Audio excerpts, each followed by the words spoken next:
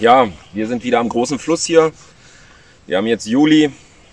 Wir haben Hochwasser. Wir haben 26 Grad und wir schwitzen uns hier wieder ein ab. Ja, wir versuchen jetzt hier vier Nächte auf Wels, auf Walla, Siluris Glanes genannt. Die Routen machen wir jetzt gerade fertig, also die Montagen und so, bringen dann die Routen raus, legen sie aus und dann sind wir hier fertig und K.O. und legen uns hin und warten darauf, dass einer Hunger hat von den Viechern. Ja, das Hochwasser, weiß ich nicht, wir haben, es ist höher 1,40 Meter bis 1,60 Meter. Wassertemperatur haben wir 23 Grad, es ist pusche warm. Wir fischen hier an einem Gebiet, wo ein Zulauf zu den Poldern ist, wo das überschüssige Oderwasser ein bisschen ablaufen kann. Und da in dieser Buhne vermuten wir natürlich, dass die Welse, die Köderfische hier äh, sich wegheimsen äh, oder wegfressen. Köderfische ja, äh, haben wir auch schon bekommen. Nachher werden wir eine, eine mit toten Köderfisch auslegen und zwei auf Tauwürmer. Und ihr seid natürlich dabei, wenn wir was fangen, hoffe ich. Ja, dann drückt uns die Daumen, dass es klappt bei dem Video. Und wir sehen uns später bestimmt.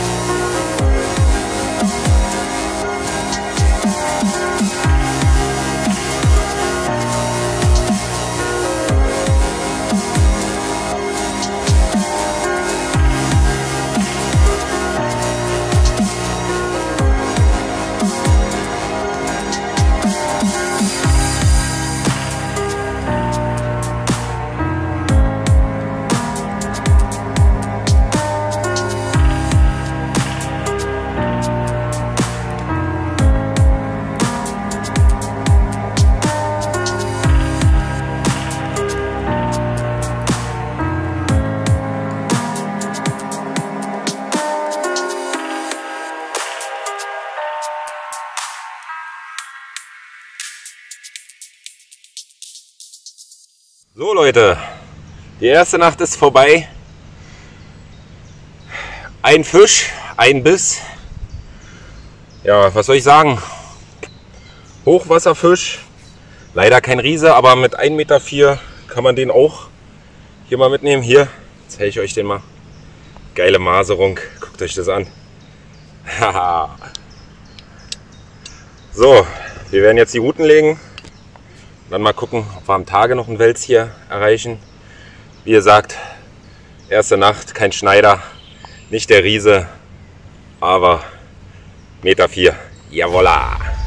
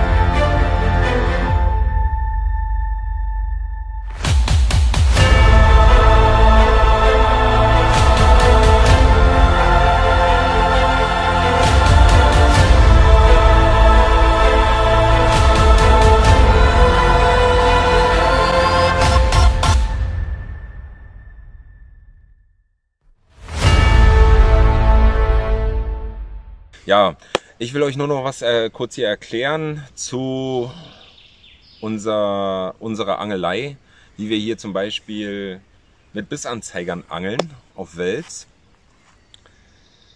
Da es mir schon ein, zwei Mal passiert ist, dass dieses Läuten man nicht gehört hatte und dadurch ähm, den Fisch nicht gehakt gekriegt hat.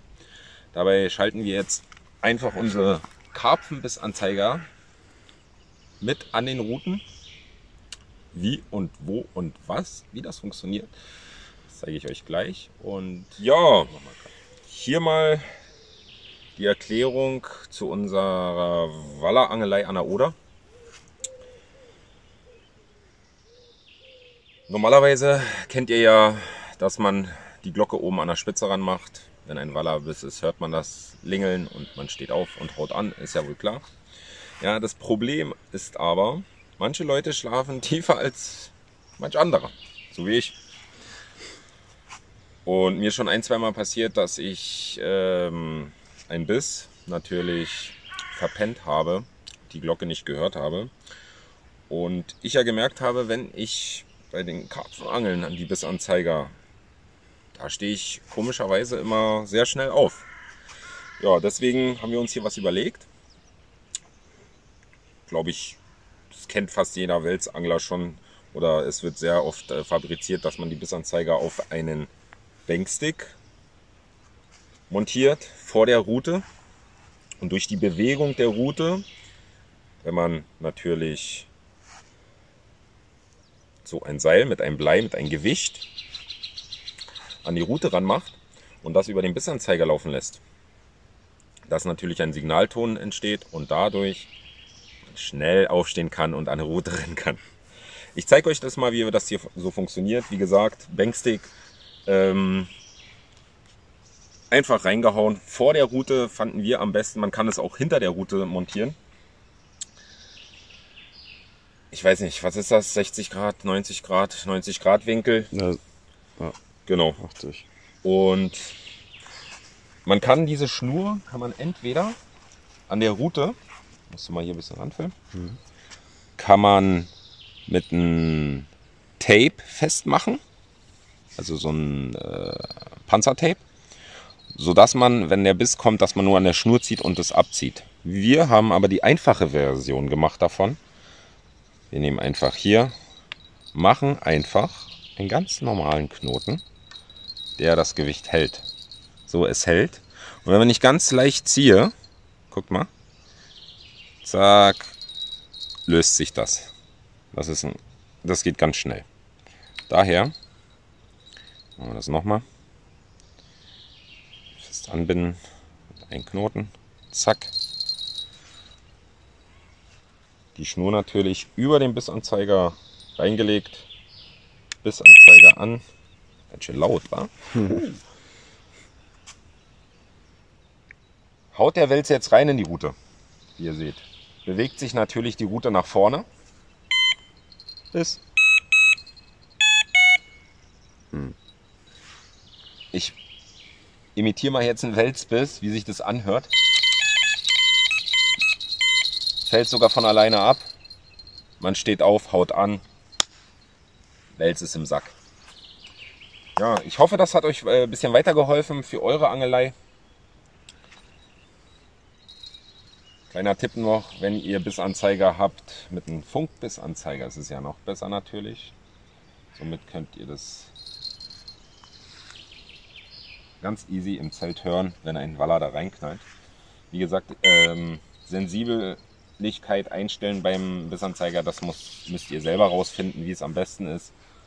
Oder wenn ihr im Ausland oder so angelt mit lebendigen Köderfisch, ähm, dass dann den sehr, sehr unsensibel gestellt wird, dass er nicht die ganze Zeit piept und so weiter. Nur ein kleiner Tipp nebenbei.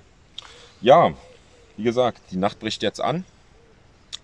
Routen liegen und wir hoffen, wir kriegen ein Biss in der Nacht.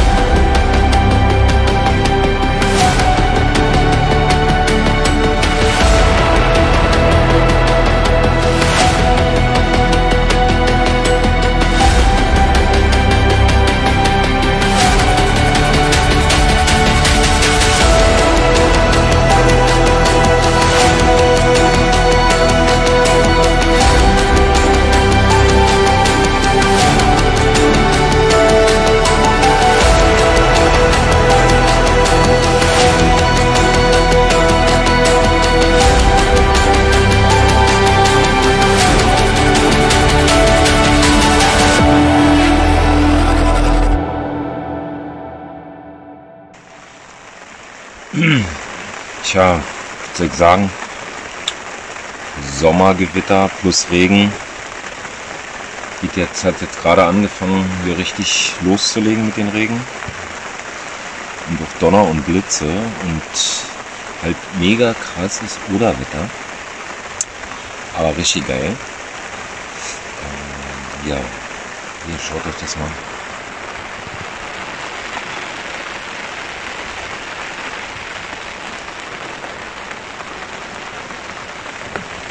Mal sehen, ob der Sauerstoff im Wasser die Welse ein bisschen animiert, dass die Winde nehmen. Hm. Ja, wir halten euch auch am Laufenden. Das ist jetzt die zweite Nacht. Erste Nacht kam Meterwels. Und mal sehen, wie es mal klappt. Dann, ich hoffe, es beißt was mal, ehrlich, ey. Das Wetter ist doch eigentlich mega wallerhaft, oder? Mega krass. 26 Grad, Regen, Donner, schwül. Mega krass. Ich hoffe, das Wasser steigt nicht noch. Aber wir haben noch ein, zwei Meter Freiraum. Wenn es jetzt so regnet. Hm, naja, werden wir sehen. Okay, ich halte euch auf den Ofen. So, Leute, im Weltuntergang hier.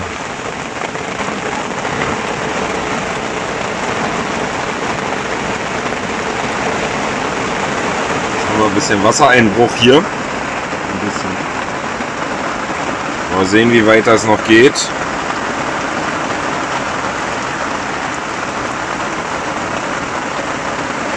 Naja, ein bisschen haben wir noch.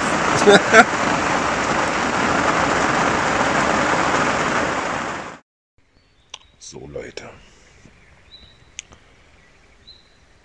Die dritte Nacht geht jetzt los. Wir haben es jetzt 21 Uhr. Die Routen liegen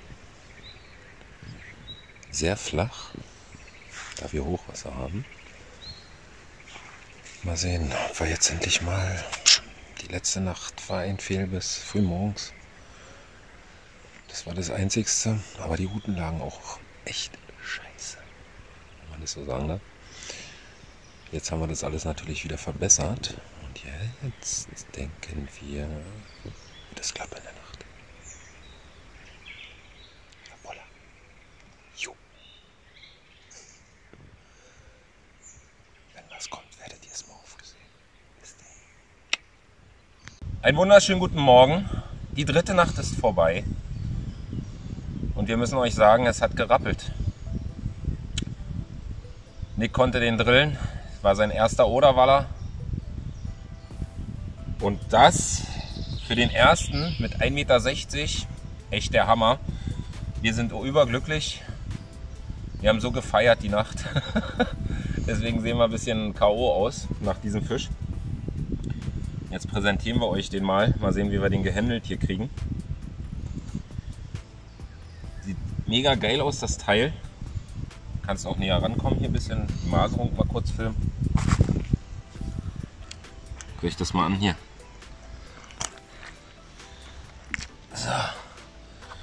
Zeigen wir euch mal.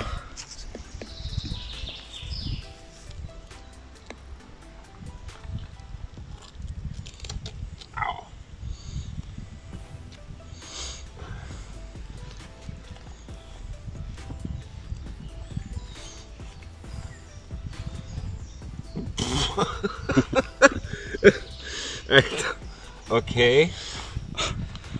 Ich bin schon ein bisschen in die Jahre gekommen. Ich schaffe das nicht mehr. Einen kleinen Fisch hier zu handeln. Machst du denn dann, wenn du einen 2 Meter willst? Ja, den kannst du ja nicht hochheben.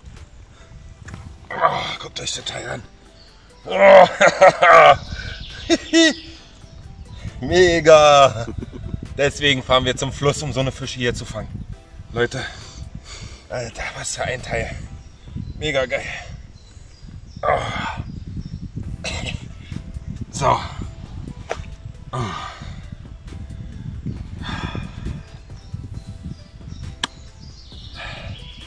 Das ist Flussangeln auf Wels, Leute. Mega geil, mega Hammer. Bombe.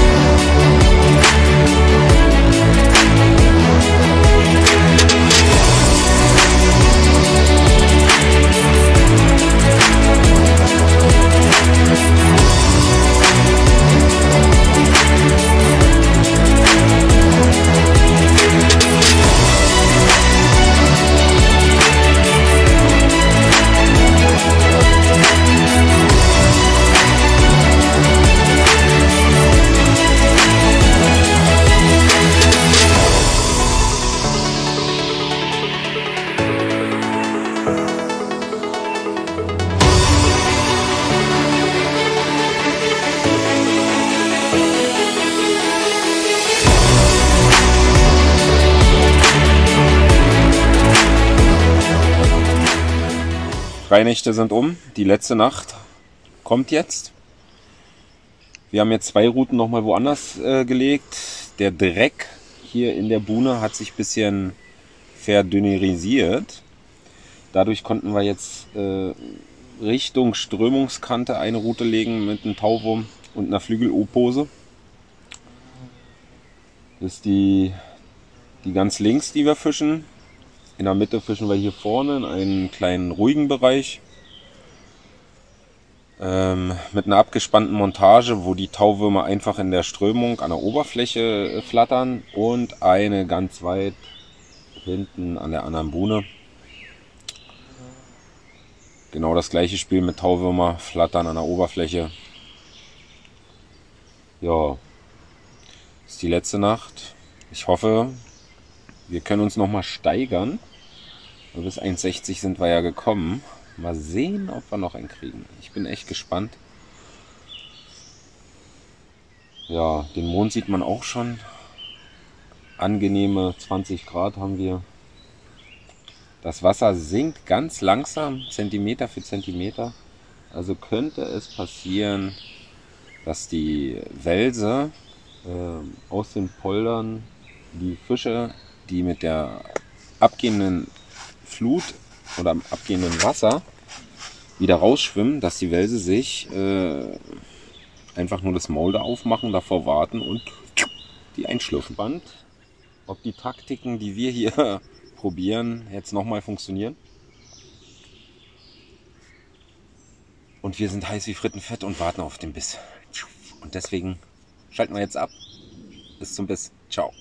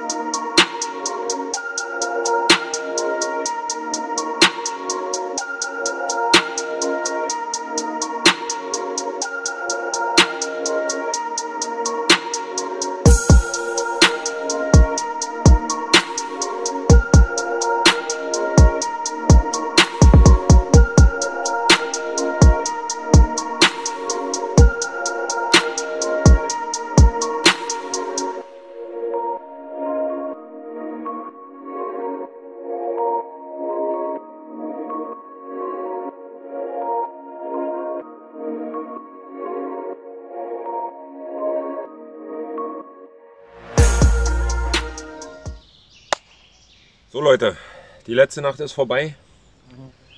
Leider hatten wir nicht einen Biss zu verzeichnen. Aber so ist das Wallerangeln. Manchmal funktioniert es, manchmal nicht. Ja, zwei Fische konnten wir fangen von 1,04 Meter und 1,60 Meter. Ja, bei Hochwasser, wie gesagt, das erste Mal bei Hochwasser geangelt. Und zwei Fische in vier Nächte, ja, ist okay. Aber mit 1,60 Meter können wir nicht meckern. Wir haben uns sehr gefreut. War eine schöne Zeit auf jeden Fall. Schön die Ruhe äh, genossen hier.